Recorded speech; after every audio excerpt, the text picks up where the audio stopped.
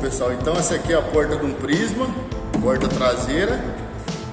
Todo esse dano aqui foi consequência da batida.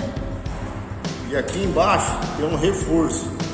Provavelmente é o reforço que afundou junto com a chapa que está segurando a chapa. Então com essa espátula nós vamos fazer o corte da cola. E aí a chapa vai se soltar e essa pressão maior vai voltar.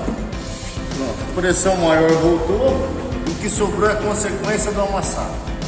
Esse amassado pequeno, esse aqui, essa parte aqui que estufou para cima e essa parte que estufou. Beleza?